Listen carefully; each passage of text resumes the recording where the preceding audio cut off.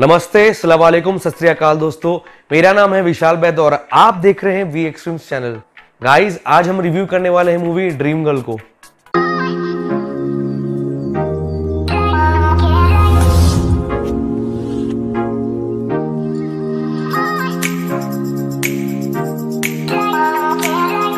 तो फ्रेंड्स कल मैं देखने गया था ड्रीम गर्ल मूवी और जब मैंने इस मूवी का ट्रेलर देखा था तो मेरे को लगा कि ये मूवी इतनी अच्छी नहीं होने वाली है। ऐसा मेरे को लग रहा था बट यकीन मानिए, जब ये मैं मूवी देखने गया फ़र्स्ट हाफ़ में मैं हँसते हँसते लोट पोट हो गया। फ़र्स्ट हाफ़ में हँसते हँसते मैं पागल हो गया, मेरी हालत खराब हो गई।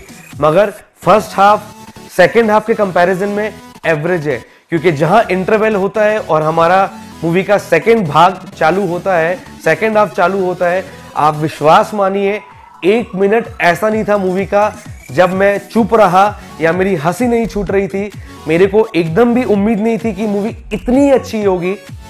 अभी तक मेरे हिसाब से 2019 की one of the best comedy movies में से एक है ड्रीम गर्ल आयुष्मान खुराना, नुसरत भरूचा अन्नू कपूर, जितने भी कास्ट है इस मूवी में, जितने भी सपोर्टिंग रोल में ए टू जेड सबका काम ए प्लस है। आयुष्मान खुराना ने तो ज़बरदस्त काम किया है। मतलब मैं क्या बताऊँ, इतनी अच्छी, इतनी उमदा परफॉर्मेंस इतनी अच्छी मूवी मैंने एक्सपेक्ट नहीं किया था कि ये मूवी इतनी अच्छी होगी। और जहाँ तक बात रही सेकेंड हाफ़ की सेकेंड हाफ़ में एक मिनट ऐसा नहीं था कि मैं चुपचाप बैठा। मैं उस मूवी के बारे में आपको कुछ भी ज़्यादा नहीं बताने वाला। पूरी फैमिली को लेके ये मूवी देखने जाए। और ये मूवी ए प्लस प्लस है, इतनी कॉमेडी और स्टोरी ज़बरदस्त स्टारकास्ट ज़बरदस्त, सबकी एक्टिंग ज़बरदस्त। हाँ मूवी के गाने इतना अच्छा नहीं है, मगर उसकी आपको महसूस ही नहीं होती है कि इस मूवी में आपको गाने चाहिए थे या थोड़ा म्यूज़िक और अच्छा होता।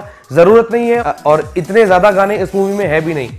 तो मैं आपसे एकदम रेकमेंड करूँगा कि ड्रीम गर्ल जाके देखें, क्योंकि ये मूवी 2019 की one of the best movies में से एक है। सो so गाइज़ आज के इस वीडियो में बस इतना ही।